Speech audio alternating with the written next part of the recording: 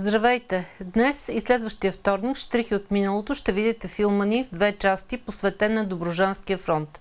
В първата част ще ви запознаем с политическите и економическите причини, довели до влизането на България в Първата световна война и обособяването на Доброжанския фронт и бойните действия до Добричката епопея в началото на септември 1916 година. Приятно гледане!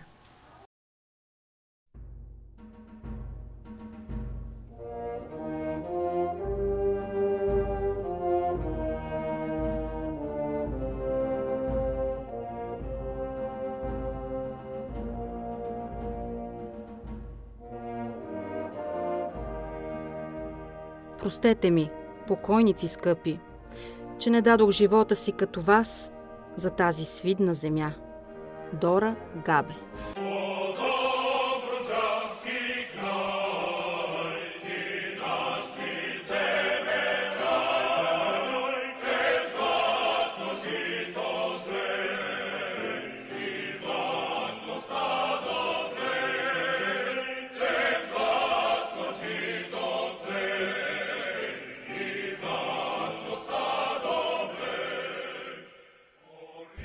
А, динамичното развитие на Германия в началото на 20 век и нейното желание да се превърне в колониална държава я сблъскват с старите колониални сили като Англия и Франция, които междувременно са започнали да се коалират с Русия, което някъде към началото на 20 век оформя създаването на така наречената Антанта между тези три велики сили – докато Германия съвместно с Австро-Унгария така се коалира в една наречена в историята коалиция типа на Тройния съюз, тъй като в един момент към тази австро-германска коалиция се присъединява и Италия.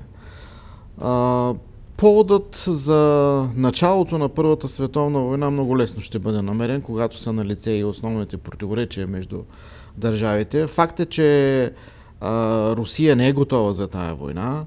А, Германия обаче е готова и бърза и именно Сараевския инцидент и събитията около убийството на австро-унгарския престолонаследник се оказва клечката кибрид, която взривява натрупаните противоречия между европейските велики сили.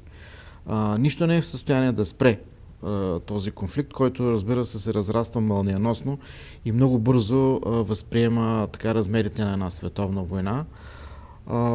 България посреща тази война в една много особена ситуация, тъй като да не забравяме, че през 1913 година тя трябвало да изпие до дъно горчивата чаша с Букурешкият мирен договор, който и сервират нейните съседи, защото обединени всички балкански държави срещу нея я принуждават всъщност да се откаже от голяма част от своите успехи, постигнати в Балканските войни. А, така че началото на Първата световна война предоставя шанс на българските политици да постигнат някакъв реванш. И наистина а, се изисква провеждането на много мъдра политика, за да успее България да се възползва от това, което съдбата й предоставя. А, в интерес на истината, около година България следва политика на неутралитет. Тоест, ако приемем, че Първата световна война започва през лятото на 14 година, България се включва 12, 14 месеца по-късно в световния конфликт. На 1 октомври 1915 година, но а, трябва да сме някакси а, наистина сигурни в това, че българското правителство е опитало всичко, а ние нямаме такива доказателства, а, защото тогава България се управлява от а, една едно правителство на коалиционно правителство на либералните партии, което е русофобско. Правителство, което е прозападно ориентирано или по-точно пронемско ориентирано. А като се има в предвид и е, личността, особата на Фердинанд, някакси а, ориентацията на България към централните сили е почти предопределена.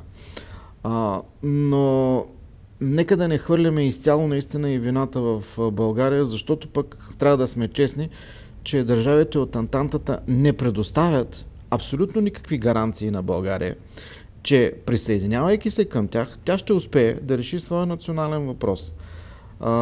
И лятото на 15-та година е, както го нарича един френски журналист, българското лято, защото това е времето на охажването на България от страна на двете групировки и аз мисля, че никога след това в своята история България не е била толкова стратегически и толкова важна, за който и да е бил европейски партньор, както сега в лятото на 15-та година, защото едно евентуално присъединяване на България към а, коалицията на Антантата, а тя получава покана. Специално известно е, че Чърчил много държи България да бъде включена в Антанта, за да може да ползва българската армия като съюзник при осъществяването на Дарданелската операция. Крахът на Дарданелската операция де-факто така м- предизвиква негативните емоции на Чърчил към България, които той запазва до края на живота си. А, и може наистина има за какво. А, но така или иначе е факт, че държавите от Антантата не съумяват да предложат на България това, което те иска. Не дават достатъчно гаранции, че тя ще може да реши своя национален въпрос. Защо? Защото ако те го направят, това означава, че те ще нарушат интересите на своите балкански съюзници в лицето на Сърбия, Гърция и Румъния. И точно поради тази причина България не може да разчита на а, благосклонно отношение към държавите от Антантата. Съвсем друга линия към България взема държавите от централните сили, по-специално Германия. Германия ни обещава това, което ние искаме. Германия оцелва болката на българите. Македония. Германия ни обещава цялата Македония, стига българската армия при влизането в войната да се извоюва сама. Германия ни обещава Поморавието. Германия ни обещава, ако Румъния влезе в войната на страната на Антантата, както и ще стане по-късно, Южна Добружа, която ние знаем, че губим 13-та година злополучно. А, Германия ни обещава дипломатическо съдействие в преговорите с Гърция. Единствено, което Германия не може да ни обещава, това е някакви териториални м- отстъпки по отношение на Турция, тъй като Турция вече е нейн съюзник. Но въпреки всичко германската дипломация успява да убеди Турция да не отстъпи една малка ивица земя, с която цялата ЖП линия от а, Одрин до а, пристанището на Дедеягач минава през българска територия, тъй като Дедеягач тогава е в наша територия. Така че а, България залага на австро-германската коалиция, според мен малко преждевременно, може би наистина ние трябваше да изчакаме с нашия избор, но лятото на 15-та година се случват едни събития по фронтовете на Европа, които някакси карат, да, карат българското правителство да си мисли, че войната всеки момент ще свърши ние ще изпуснем влак. А, тези две събития са големите поражения, които търпят на източния фронт руските армии и бездействието на Западния фронт, където нищо не се случва в продължение на година. Така че а, българското правителство преценява, че сега е дошъл момента и на 24 август или 6 септември България подписва съюзен договор с Германия и нейните съюзници, по силата на който има и военна конвенция, разбира се, по силата на който всички тези териториални а, предели са необещани, които преди малко споменах.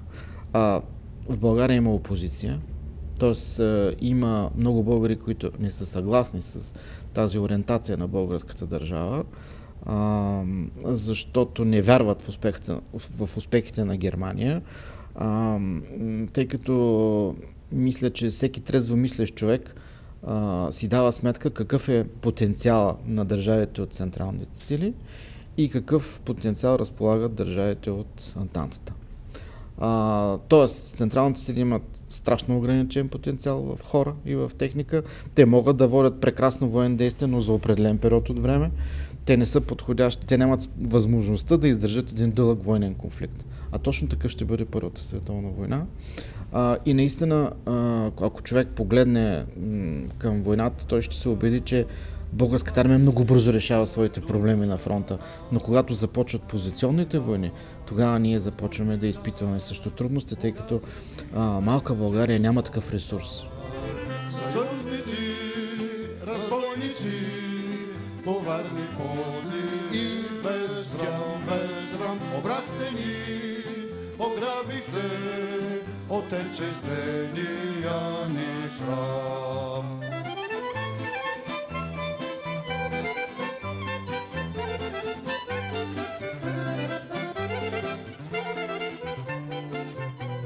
През есента на 1915 година две български армии се включват в Първата световна война в военни действия срещу Сърбия и само за няколко месеца Сърбия е на колене, Сърбия е принудена да капитулира. Това е един голям военен триумф на нашите две армии, които осъществяват така наречената настъпателна нишка операция и овчеполска операция в Македония, с което Вардарска Македония и Поморавието са свободни. А, но това не означава, че България е решила своя национален въпрос. Предстои и да бъде поставен на картата и доброжанския въпрос. Само, че за целта а, трябва малко да почакаме, тъй като получено от грешките през 13-та година нашето правителство решава, че, или по-скоро нашето военно командване, решава, че трябва да съсредоточи една армия по румънската граница, да я остави в северо И това е трета българска армия на генерал Тошев, която в продължение на една година бездейства. Тази армия е оставена в резерв и тя трябва да се намеси във войната само тогава, когато е нужно. Този момент удра в края на август 16 година, когато Румъния след дълги колебания решава да се намеси на страната на Антантата. И тогава става ясно вече, че войната е неизбежна, а съответно всички държави от а, Тройния съюз, това са България, Австро-Унгария и Османската империя обявяват война на Румъния. България прави това последна на 1 септември 1916 година, като по протежение на 200 км граница в Добружа, както вече споменах, е разположена трета българска армия, начало с генерал Тошев. Според плана за действие, основните сили от армията трябва да бъдат насочени към овладяването на основният стратегически пункт на противника, а това е Тутраканската крепост, която румънците превръщат в една наистина модерно, фортификационно изградена крепост, строена по последния писък нали, на тогавашната военна, така, военни концепции. И румънците са убедени, че тази крепост ще ги предпази и че тя няма да падне толкова лесно. А, на друго мнение са обаче нашите военачалници. Може би тук е момента, в който трябва да споменем и за търканията, които съществуват между нашето командване и германското. Тъй като България е съюзник на Германия, а, за действия срещу Румъния е създадено така наречената така нареченото Дунавско командване, начало на което застава фелдмаршал фон Макензен който е върховен главнокомандващ на българо-немските войски на Балканите, което означава, че България не е свободна в своите а, решения как да воюва. Те трябва да се съобразяват с интересите на Германия. И точно това конфронтира нашият началник, штаб, нашия началник на Трета българска армия, генерал Тошев, с Макензен. А, два или три са така големите конфликти между двамата велики полководци, но в крайна сметка историята показва, че Тошев е бил прав.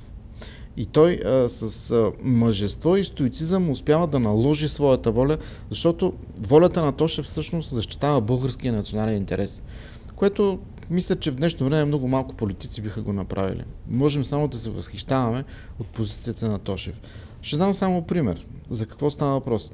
А, Макензен смята, че м- първо, когато бъде обявена войната с Румъния, първо трябва да бъде нанесен удар срещу Букуреш, и едва след това да се решава проблема с Добружа. Тошев казва, не, ние първо трябва да освободим Добружа. Защо? Тошев знае какво ще последва с българското население там. Знае, че румънците ще излеят своята злоба срещу обикновеното българско население. А, освен това, а, нашият интерес е не да, не да влизаме в Букуреш. Нашият интерес е да освободим Добружа. Така че това би разводнило причината за влизането на България във войната. Другият, конф, другата конфликтна точка е начина на действие спрямо Тутраканската крепост. Макензен предлага да бъдат а, насочени два основни отряда. Единия към Силистра, другия към Тутракан. Тошев обаче, знаеки, че нашата армия е много малка, трета българска армия е някъде около 60-70 хиляди души, а, и знае, че това би а, така намалило нейният ударен ефект, затова той предлага първо да бъде превзет от ръка и след това да бъдат насочени останали, след това да бъдат решени другите проблеми в Добруджа, освобождаването на Силистра и на Добрич. И в крайна сметка отново събитията потвърждават правотата на Тошев, тъй като Тошев въобще не си играе да обсажда Тутраканската крепост, той превзема движение. Това е великият момент, който а, ние трябва да изтъкваме и трябва да сме горди, защото а, мен лично много ме впечатлява в такива моменти реакцията на западните кореспонденти, които свикнали да получават новини от а, Западния фронт, на който нищо не се случва. Този екшен, който а, става на Доброжанския фронт, а, той предизвика наистина изключителен възторг. И западната преса каза, ето така трябва да се гледате какво прави Тошев нали, в България. А, защото наистина това е от гледна точка на нашите съвременни представи за войната. Това е един блицкрик. Де факто, Тошев за 33 часа успява да превземе крепост, която румънците строят 3 години. И той доказва, че духът е по-силен от материята. Това, че българската армия нали, може да превземе всякакво препятствие, когато е въодушевена. А българският войник воюва за кауза на Доброжанския фронт.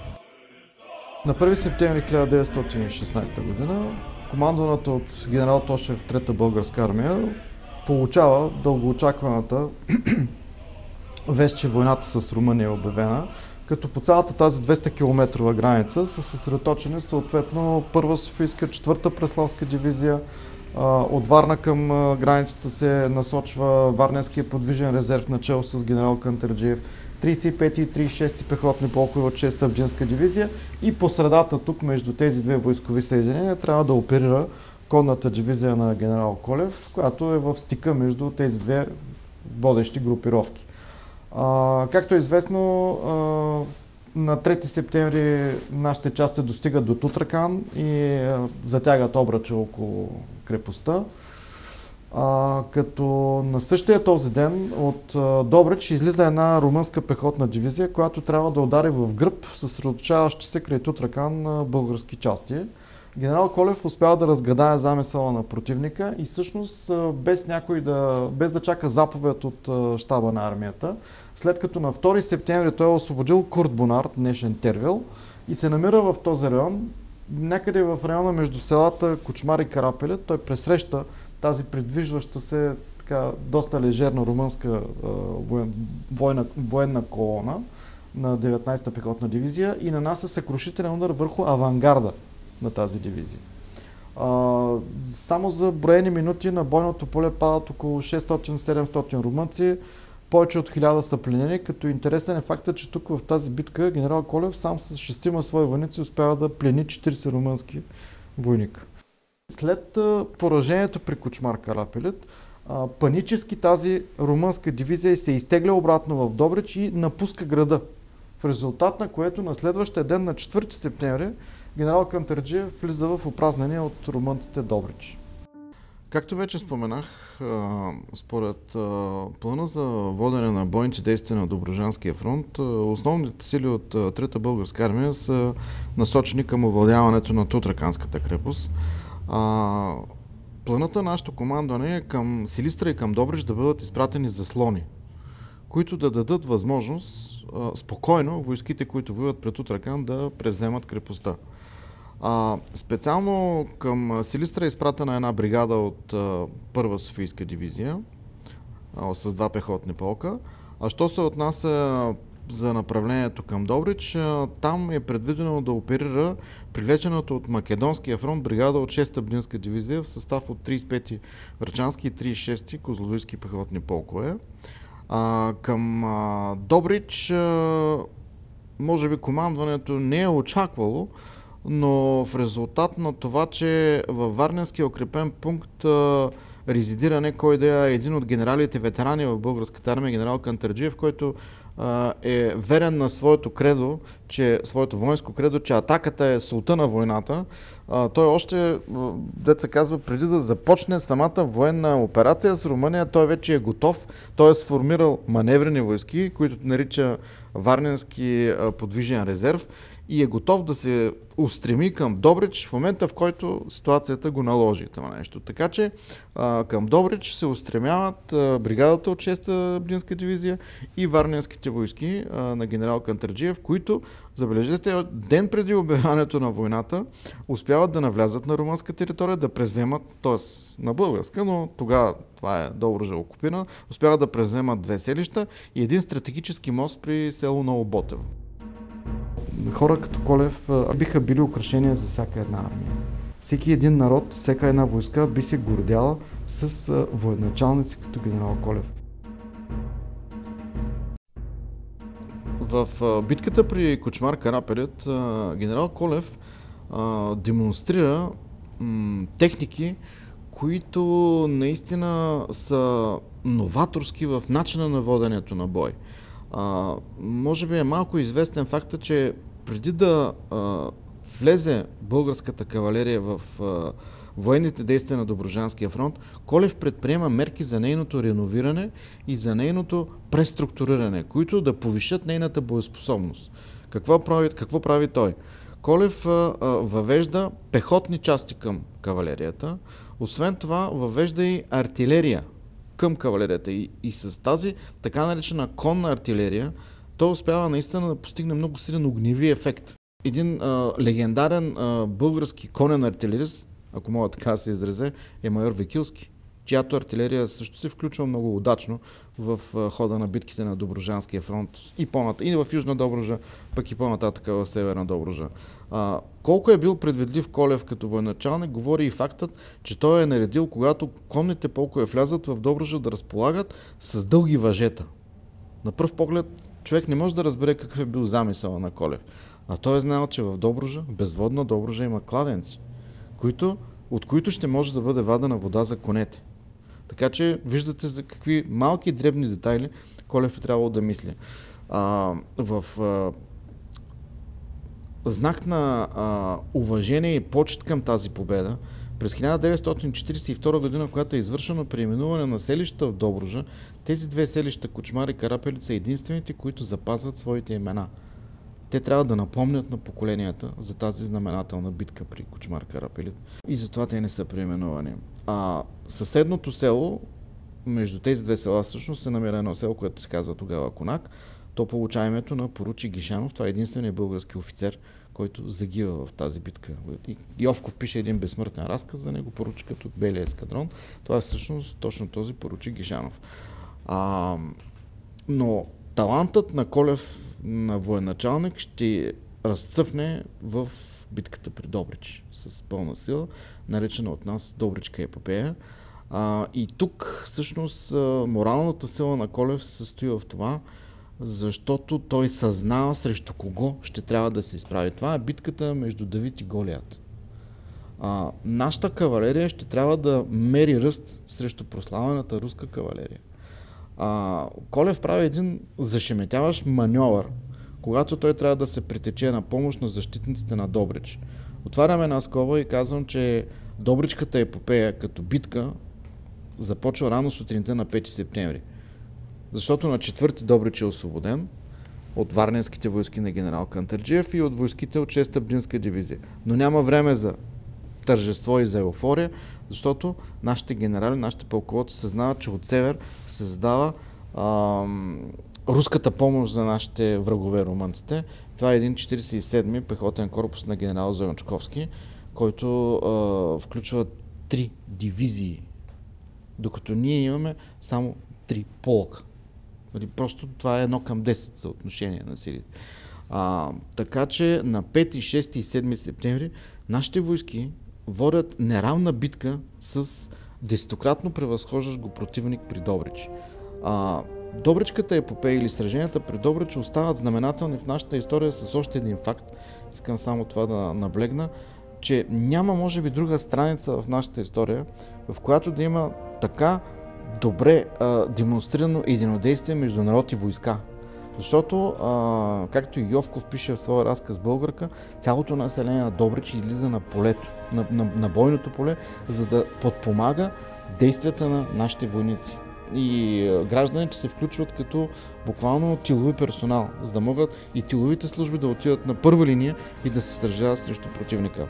7 септември е кулминацията на боевете при Добрич, когато в сражението се включва една сърбо-харватска доброволческа дивизия, за която никой не подозира.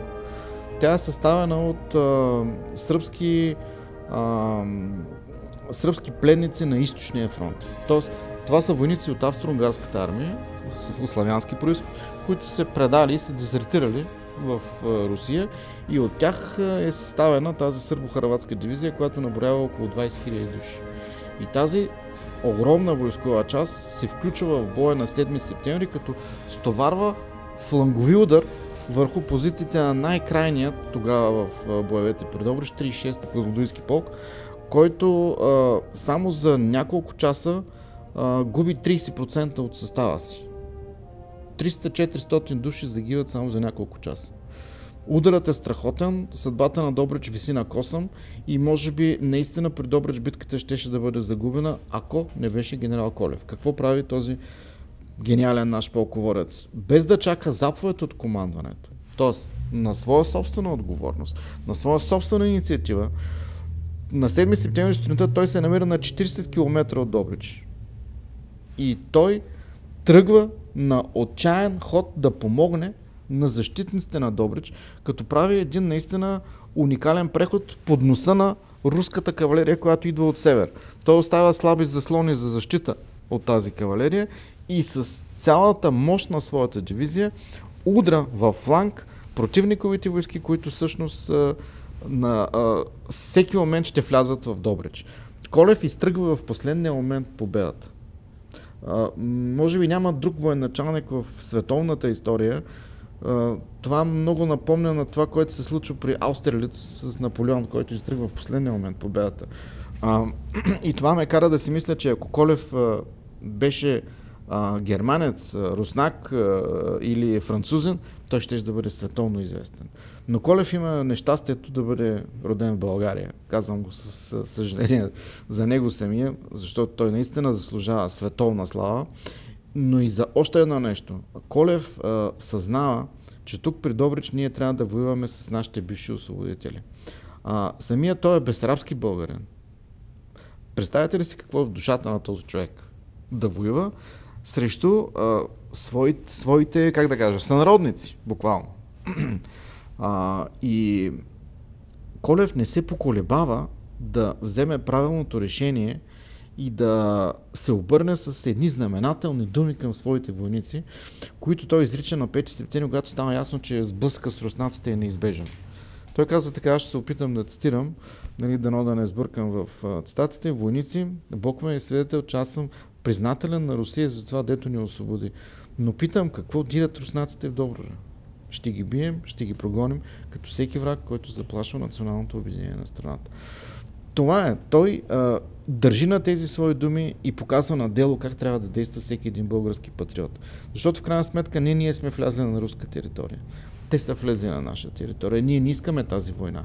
А, но е факт, че има случаи на много интересни прояви на джентълменство, ако мога да използвам тази дума, между българи и руснаци, което, да речем, не можем да го коментираме за взаимоотношенията между българи и румънци или българи и сърби.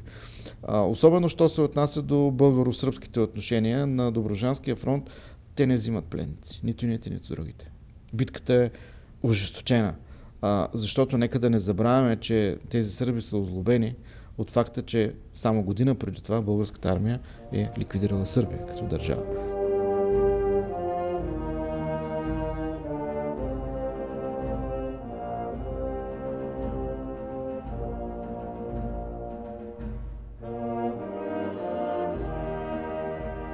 Това е най-голямото по площ военно гробище в България от времето на Първата световна война.